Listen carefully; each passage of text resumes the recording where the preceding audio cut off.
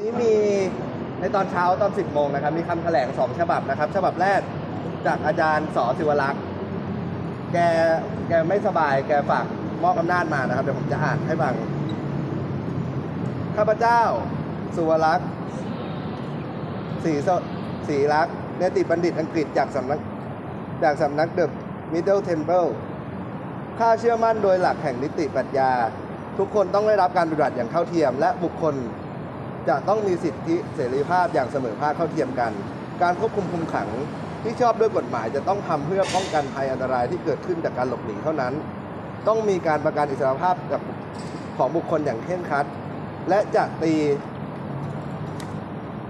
ความกฎหมายจำกัดสิทธิเสรีภาพไม่ได้ ถ้าเห็นว่า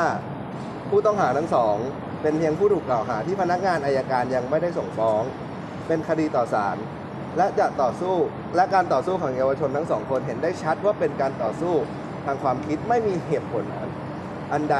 ทางมนุษยธรรม และทางหลักกฎหมายที่จะควบคุมคุมขังเด็กทั้งสองคนไว้ตามคำขอของรัฐขอได้ขอศาลได้ปล่อยเด็กทั้งสองคนนี้ ตามอำนาจที่ศาลยุติธรรมมีอยู่ เพื่อให้เขามีสิทธิ์ต่อสู้ทางคดีความคิด และมีสิทธิ์ในการต่อสู้คดีอย่างเต็มที่ หากผิดก็ลงทันหากถูกให้ยกฟ้อง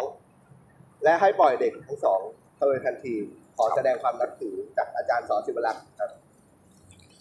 ในส่วนของผมนะครับ ก็ในฐานะจริง ๆ สื่ออิสระนะฮะก็ตอนนี้เป็นฟรีแลนซ์ผมคิดว่าเอ่อประเทศไทยนะในคำแถลงนี้ขอแถลงว่าประเทศไทยจะต้องตั้งหลักจากประชาธิปไตย โดยมีหลักใหญ่ใจความคืออำนาจสูงสุดเป็นของประชาชน และองค์กรตุลาการนะฮะ เป็นหลักประกันความปลอดภัยและสิทธิเสรีภาพของประชาชนเหล่านี้ดำรงตนเป็นจุดเชื่อมโยง ที่ปกปักพิทักษ์รักษาให้ความปลอดภัยระหว่างประชาชนกับการปกครอง และขอยืนยันว่าการปล่อยตัวชั่วคราวบุคคลนั้นเป็นสิทธิของบรรดาผู้ต้องหาผู้ต้องหาและจำเลยในคดีอาญาการยังคุกกักขังควบคุมบุคคลใด เกินกว่าที่สมควรตามเหตุผลที่กฎหมายกำหนดนั้นจะกระทำไม่ได้ ด้วยความเคารพต่อศาลอาญาข้าพเจ้าเห็นว่าการรับฝากขังผู้ต้องหาทั้งสองในคดีนี้ไว้ และไม่ได้ปล่อยตัวชั่วคราว ทั้งที่ไม่ได้มีพฤติการหลบหนี ยอมให้ตำรวจจับกุมบริเวณที่หน้าศาลอาญา โดยที่ไม่ใช่บุคคลที่ทั้งสองคนไม่ใช่บุคคลที่จะสามารถเข้ามายุ่งเหยิงกับพยานหลักฐานและขัดขวางสำนวนการสอบสวนของพนักงานสอบสวน เป็นกรณีที่เป็นอันตรายต่อกระบวนการยุติธรรมและต่อตัวเยาวชนทั้งสอง โดยอาจเป็นการด้อยค่าสิทธิมนุษยชนของพวกเขา ในการพิทักษ์รักษากระบวนการยุติธรรมและดำรงไว้ซึ่งระบบ อันที่พวกเราผู้ใหญ่และประชาชนทั้งหลายเป็นเสาหลักในการปกปักดูแลประชาชนนั้น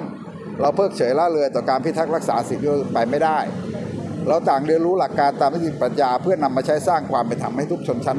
ให้ทุกชนเท่าเทียมกัน ขอเรียนท่านผู้รักษาโปรดพิจารณาไม่รับฝากขังผู้ต้องหาทั้งสองนี้ต่อไป และหากผู้รักษาจะมีพิจารณา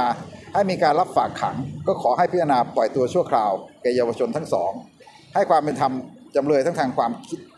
จำเลยทางความคิดทั้งหลาย เมื่อท่านมีอำนาจพิจารณาด้วยครับ